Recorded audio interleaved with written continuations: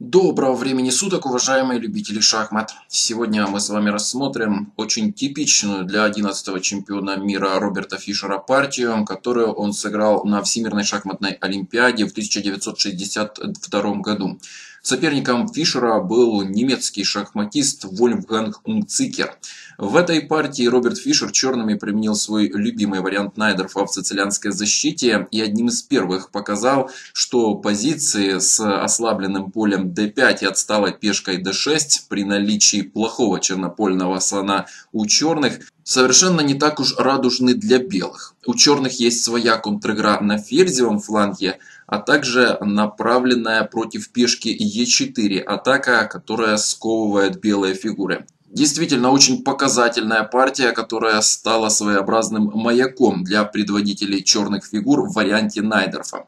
Е4 пошел Унцикер, С5, конь F3, D6, D4 разменялись, конь F6, конь C3 и А6.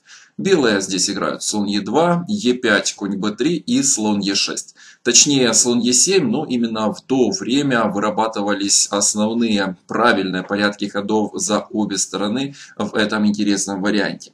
Два нуля сыграли белые, конь БД7, F4, ферзь c7 и f5.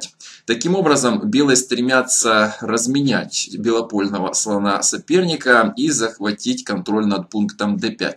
Слон c4. А4 играет здесь унцикер и после слон Е7, слон Е3. Рокировка и А5. Черные сразу же высвобождаются от зажима на ферзевом фланге, сыграв b5.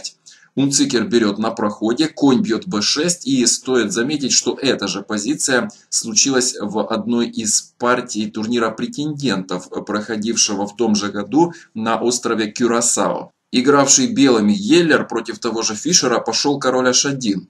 Ладья fc8, далее размен на b6, на c4, ферзь e2, ладья b4 и ладья a2.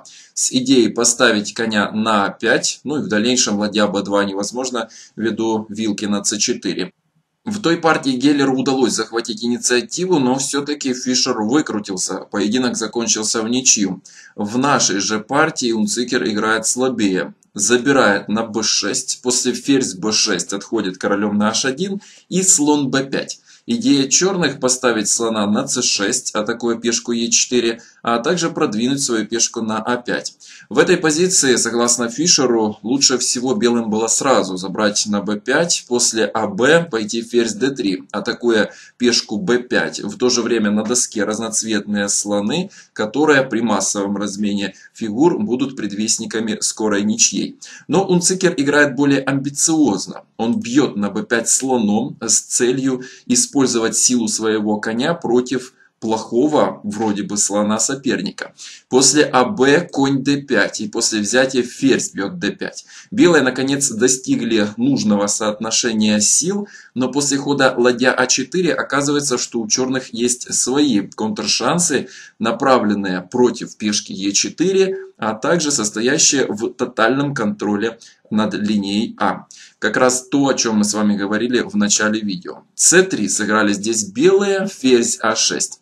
Позиция белых усложняется тем, что их конь чрезвычайно далек от вожделенного пункта d5, и контроль над этим центральным полем совершенно белым здесь ничего не дает. Пешка d6 надежно защищена, а контршансы черных на ферзевом фланге более чем весомы. Эта же позиция создалась в другой партии турнира претендентов на Кюрасао в том же 62 году. Белыми играл Таль, ну а черными тот же Фишер. Как мы понимаем, 11 чемпион мира был очень принципиален в своих дебютных предпочтениях. В той партии 8 чемпион мира сыграл ладья АД1. И после ладья С8, конь С1, Б4, конь Д3 произошел размен пешек на С3.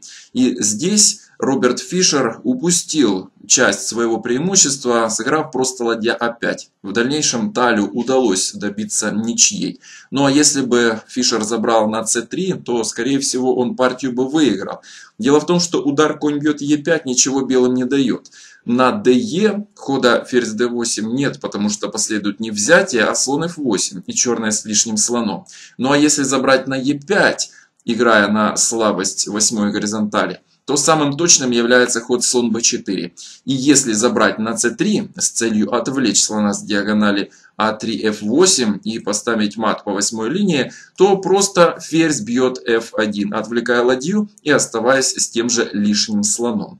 Но все-таки в данной позиции белые могли сыграть иначе. Ход g3 Впоследствии указал гроссмейстер Роберт Хюбнер. Идея белых оставить поле h3 для своего короля, куда он может пробежать через поле g2. Ну а на ход слон g5 как раз можно пойти h4 и добраться до поля h3 можно даже и по прямой дорожке. В общем, здесь позиция примерно равная, хотя, конечно, белым нужно действовать очень-очень осторожно.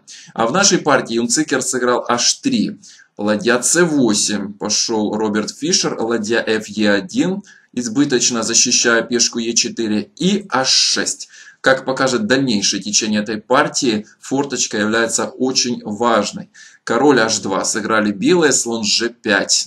Как мы видим, белая форточка оказалась не очень-то надежной. В какой-то момент может последовать слон f4. Лучшим решением является ладья ad1, но Унцикер решил предупредить ход слон f4 путем g3, и это оказалось решающей ошибкой. Ферзь a7, прицеливаясь к пункту f2, король g2, ладья a2. Пешка на b2 сейчас под боем. Что же делать? Если разменяться на a2, что было лучшим решением, ход ладья e2 не проходит ввиду ладья c3. На взятие теряется ладья на e2. Ну а если забрать на b5, то взятие на b2 с шахом и дальше ферзь c3. У черных лишняя пешка и отличные шансы на победу. Но все-таки это было меньше из зол, а Унцикер растерялся, пошел король f1, Фишер же забрал на c3 ладьей, и немецкий гроссмейстер сразу же подписал капитуляцию.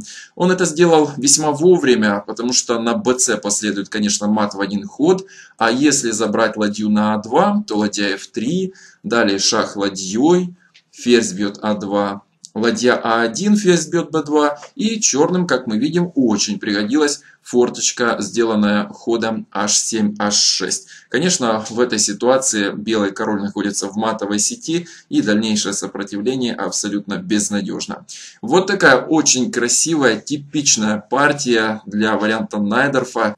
Роберт Фишер в своем любимом дебютном варианте показал, что общее соображение по поводу плохого чернопольного слона черных, отсталой пешки d6 имеют весьма отдаленное значение для оценки конкретной возникшей на доске позиции. Он использовал своего слона по максимуму, развив контратаку на белого короля и заставив довольно быстро сдаться весьма сильного немецкого гроссмейстера. Надеюсь, что данная партия вам понравилась. В этом случае не забывайте ставить лайки, подписывайтесь на канал Шахматы для всех, оставляйте свои комментарии. Благодарю вас за внимание. До свидания.